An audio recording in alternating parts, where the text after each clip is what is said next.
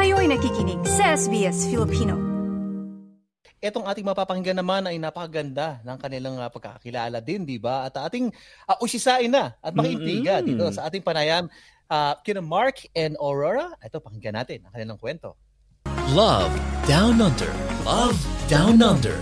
Love Down Under. Kasama natin ngayon si Mark and Aurora yes. dito sa Fiesta Cultura 2024. At balita ko, bagong kasal kayo. Yes po. Yeah, pero bago natin pag-usapan yung uh, wedding nyo na, paano ba kayo nagkakilala? Uh, so, bali, may dating app na Bumble. Tapos doon, doon, doon lang kami nagkakilala. So, that Dito ba kayo sa Australia nagkakilala? Dito. So, nakabakasyon siya noon kasi nanood siya ng concert ng Blackpink that time sa Melbourne tsaka sa Sydney. And then, doon na, doon na nag-start sa Bumble, sa dating app na yun. Minessage po niya ako. Uh, yeah. Actually, minessage ko siya kasi nagkaroon ng parang compliments sa, parang isa lang compliments doon. Then nakita ko lang yung profile niya. And then, nung time na yon minessage ko siya. And then, swerte naman, nag-reply siya. Tapos doon na nag-start. Bakit ka naman nag-reply? Ah, nakalagay uh, po kasi sa bio niya na parang sabi niya, ah, di ba chef siya? Sabi niya, um, if you love food, uh, come, come with me, I'll cook for you. di ba? So, yun. So, ano ba yung una mo niluto? Naalala mo? Uh, adobo. Adobo. adobo Siyempre, alam mo naman, adobong manok. Yun yung pinaka the best para sa akin. Luto. At ano naman naging sikreto niyo sa pagsasama? Gano'ng katagal na kayo magkasama? Boyfriend, girlfriend, bago kasal? Um, wala pa kaming one year. Wala pa kami one. Actually, ngayon kami mag one year this, this December. October. No, sorry. October. Sorry. October. One year kami. Sure so, yan, yeah. oh, October. Sure yun. Anong so, sikreto ng matamis uh, na pagsasama? Ay, yung ano, kasi laging guess lang ako ng guess eh. Tsaka, syempre, love mo yung tao. Tapos, mahaba ang pasensya mahaba sa isa't pasensya, isa. yes. That's true. Yung mahaba ang pasensya. Meron ba kayong mensahe para sa mga nagsisimula pa lang magkakilala dyan? At bago pa lang sa relasyon? Um, mensahe ko lang na ano, maging happy lang kayo. Maging happy yeah. kayo. Every day, lagi kayong sabay Magtulungan kumain. kayo. Yeah, lagi kayo sabay kumain, breakfast, lunch, dinner, hanggat hanggat kaya. Oh, tsaka, Quality time sa isa't yes. isa. Lalo na dito sa Australia. Yeah. Parang work kasi lang, di ba? Mm-hmm. Parang gano'n lang yung life dito eh. So, usap kayo pagkatapos ng work mo, usap kayo kung ano mang nangyari sa yeah. uh, pang-araw-araw, yung mga gano'n. So, ayun. Well, congratulations again. Thank you very much. For... Thank you. Ayos, thank you, thank bro. You. Thank you. Love Down Under.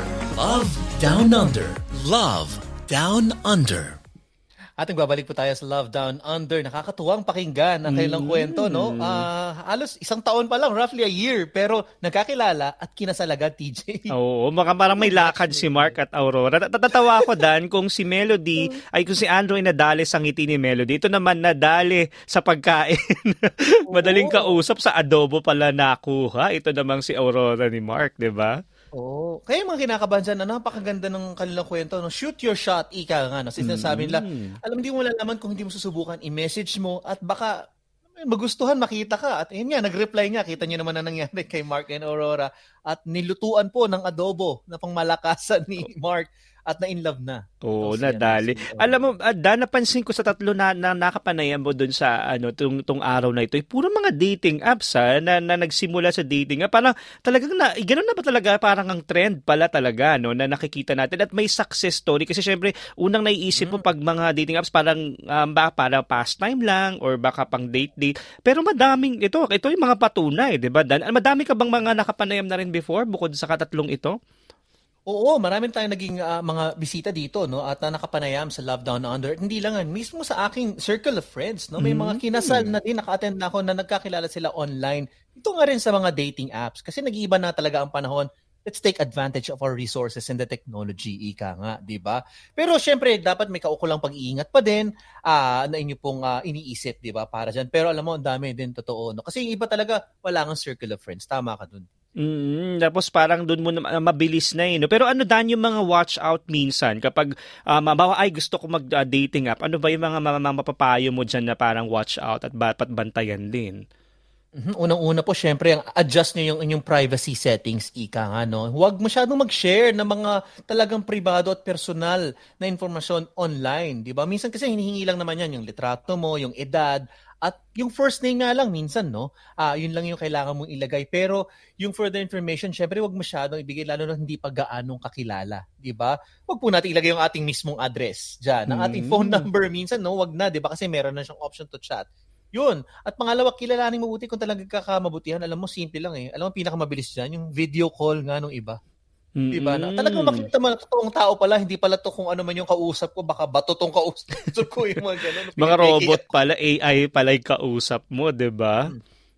At syempre, yung pangatlo, nako, eh, dito sa Australia, nabanggit mo, napakaganda, TJ. Nag-launch, um, kahanapin ko, ewan ko kung nabalitan nyo na, merong safe zone na pwede mag-meet up. Na sineto pa mga Mm-mm. police, no? Parang ito yung mag-meet up hindi lang sa date, kundi may purchase kayo, transaction. Kung magkikita kayo ng first date, either kung may gusto mo may kasama ka, di ba? Pwede yun. Mm, O Tama. ipaalam nyo po sa mga kaibigan at pamilya na, oh, kikitain ko ito, at least may nakakaalam. Alam mo, parang ang ganda lang, binanggit mo na yun kasi yan ay para sa exchange zone sa mga nag-online marketplace. Pero oo nga, Yan. no, pwede mong doon din kitain. Halimbawa, ang gusto mo makipagkita sa labas ng police ng police station para lang safe, 'di ba? Dating Oo. zone pa. pwede mo na lang i-dating zone bukod sa ano, no? no? Ako nakaka... Oo, pwede. Mm. Oo, pwede yan. So yun, mag-ingat lang po tayo. Pero alam mo na, yung excitement dyan na nandiyan, katulad ng sinabi kanina din, eh, no? ni Ivy sa kanina, yung kay James, parang kabado sila. Ito ba talaga yun? So, see. Oo. Hindi Yan parang nabanggit natin yung tatatlo yun. Dan, ikaw parang panghuli sa'yo. Ano yung mga payo mo sa mga, lalo na yung mga bago pa lang na nagkakilala sa dating app tapos ngayon na nag, magkasawa na or medyo parang first uh, few months. Ano yung mga payo mo parang panghuli sa'yo? Mhm, Ako siguro um parang ang keep that you know flame na burning no. Ah laging may kilig, do something exciting and lagi mo lang kilalanin at ah, alam mo yung kausapin ng yung partner at syempre sabi ko nga kanina ah, wag po tayong manghula no. You ask. Ang ganda ng message ni Mark and Aurora, lagi kayong magkumustahan. Wag po nating i-assume na okay ang isa or hindi okay ang isa. Kailangan lang mag-usap. At syempre tuloy-tuloy yung pagpapakilig ah, sa bawat isa, 'di ba? Wag nating tigilan 'yan.